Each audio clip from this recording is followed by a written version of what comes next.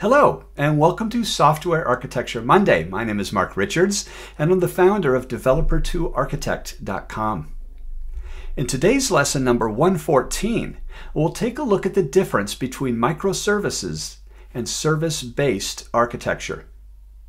These are two different architecture styles, although they quite frequently get confused. And what I'd like to address in this video are really those differences between these two different architecture styles.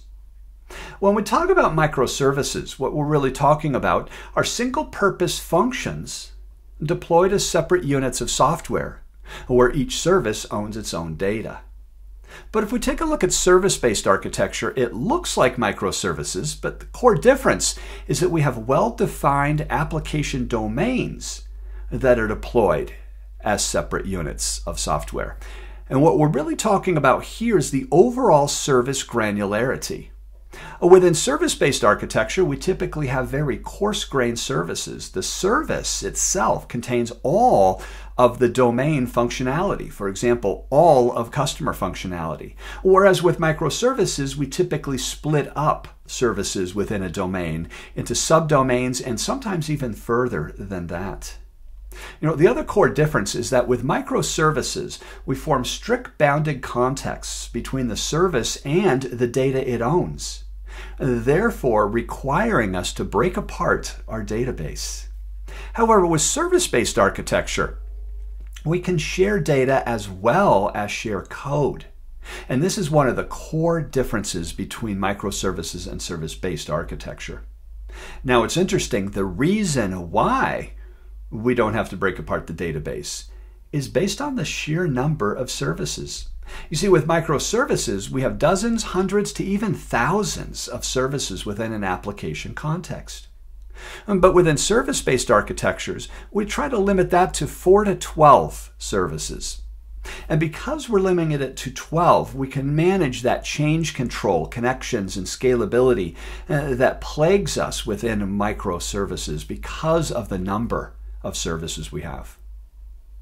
Now, microservices also, because of the number of services, does require us to embrace DevOps as well as operational automation. And this is because, quite simply, it's not feasible for us humans to manage the parallel testing, deployment, and monitoring of several hundred to even several thousand services. We require that automation as well as that containerization. However, with service-based architecture, we don't. As a matter of fact, we can use the same environment uh, that our monolithic application was in, or it currently is existing in.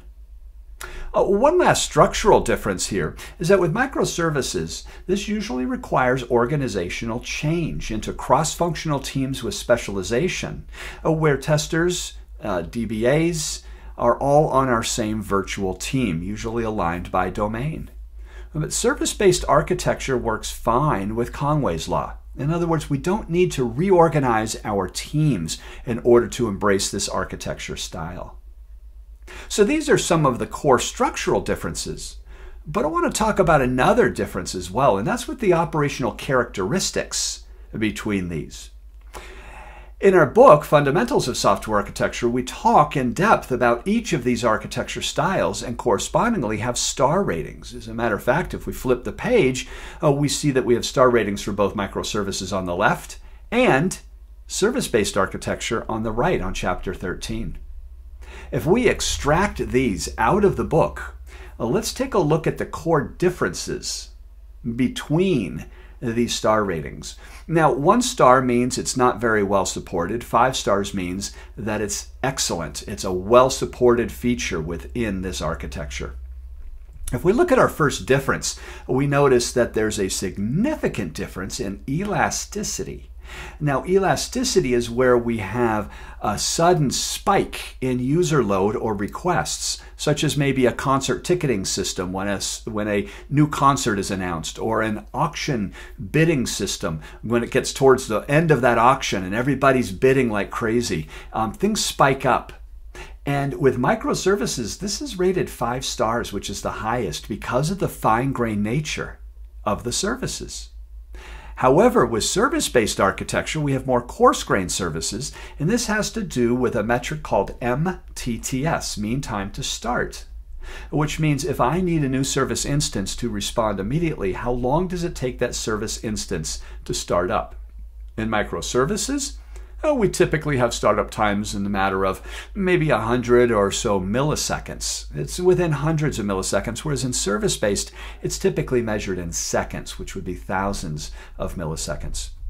Uh, the next difference that you see is with the evolutionary aspect of our architecture. Uh, within microservices, in order to evolve this architecture, um, many cases, it's a matter of simply adding more separately deployed services, whether they're containerized or whether they're in serverless functions. However, with service-based architecture, unfortunately, because the entire domain is within a single deployment unit, it becomes more difficult to actually expand or evolve the architecture. Although it's much better than a monolith because we can expand a particular domain uh, without impacting other domains. Uh, modularity loses a star within service-based architecture really because of that coarse-grained nature of the service. It's still a distributed architecture. It still has level of architectural modularity, but not at the function level. So that's why that loses a star. Now, another significant difference comes in with overall cost. And look at the difference here, everyone. We're talking about one star in microservices, which doesn't mean the cost is low. It means the overall cost is bad. Whereas in service based, we get four stars, which means it's pretty good. Microservices is a very expensive architecture, not only to develop or migrate to, but also to maintain. A lot of that cost does come from the migration effort of breaking apart databases, reorganizing our team structures within companies, also embracing DevOps, the operational automation, and the licensing that comes along with that.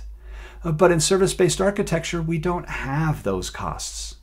And consequently, it becomes a fairly inexpensive architecture, not only to migrate to, mm, but also to maintain.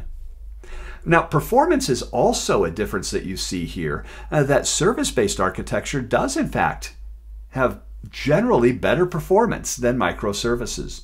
And this is because the communication between functionality within a domain in service-based architecture is all within a single service. Within microservices, we generally break that domain functionality out into separate services.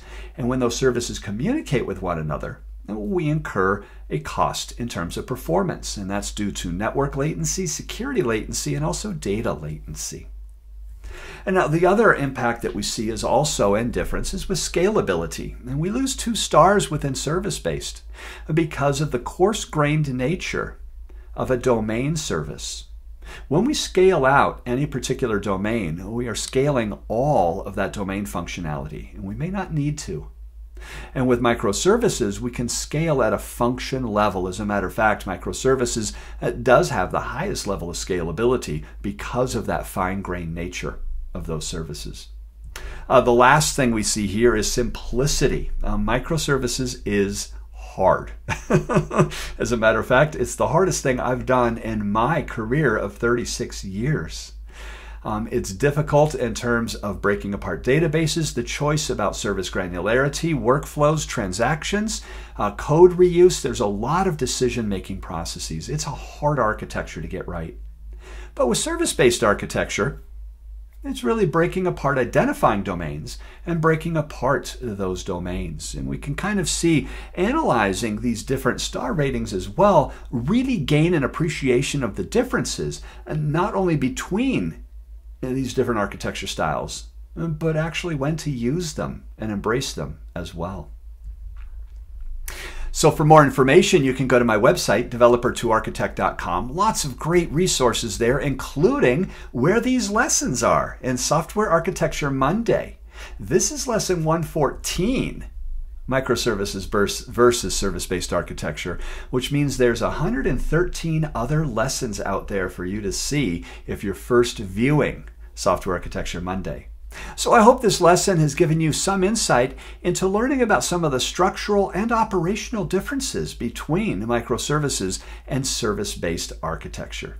Thank you so much for listening, and stay tuned in two weeks for the next lesson in Software Architecture Monday. Thank you.